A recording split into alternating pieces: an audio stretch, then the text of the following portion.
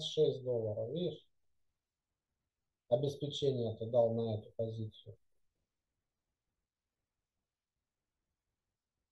Считаешь? Вот перед этим сколько было? 130 или сколько? Плюс 226 это уже сколько? 390. И последняя монета осталась. Сколько там? Сейчас вернемся. Ну,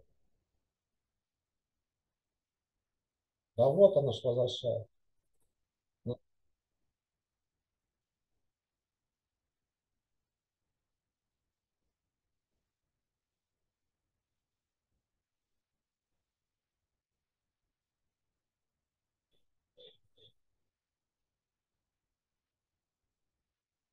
Ну.